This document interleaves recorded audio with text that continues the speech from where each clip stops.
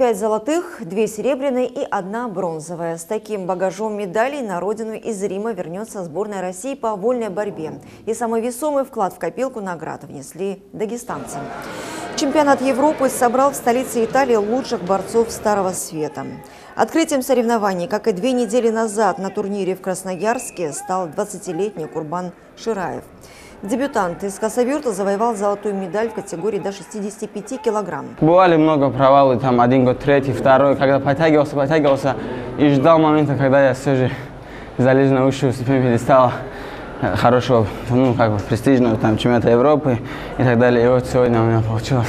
В полутяжелом весе свой уровень подтвердил капитан команды Абдулрашид Садулаев. На первую ступень пьедестала континентального турнира махачкалинец поднялся в пятый раз. Сюда приехал очень много земляков.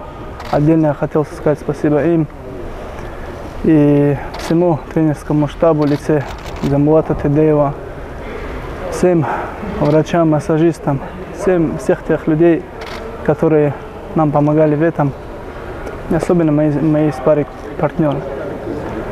И у нас очень мощная команда. Я думаю, что если вот так дружно мы будем работать, на Олимпиаде покажем такой же блестящий результат. Дагестанцы претендовали еще на два золота, однако Расул Газимагомедов в упорной борьбе уступил хозяину ковра Фрэнку Чамизу. А Магомед Рамазанов проиграл земляку Магомед Хабибу Кадимагомедову, медаль которого пошла в зачет белорусской команды. Наградой высшей пробы отметился также еще один воспитанник Дагестанской школы борьбы, ныне представитель Польши Магомед Мурат Гаджиев.